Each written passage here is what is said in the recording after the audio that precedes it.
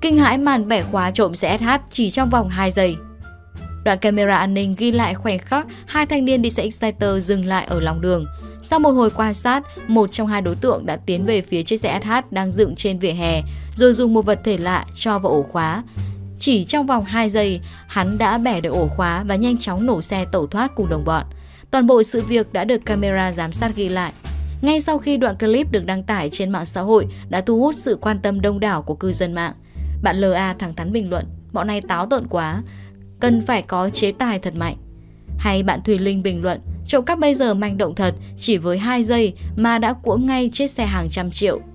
Bạn có nickname Đạt Vũ bình luận, mọi người ơi, bây giờ trộm cắp ghê lắm, các bạn để xe ngoài đường thì phải cẩn thận nhé.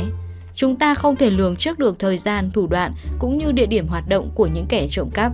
Vì vậy hãy chủ động phòng chống bằng cách cẩn trọng khi để giấy yêu của mình ở nơi công cộng nhé các bạn.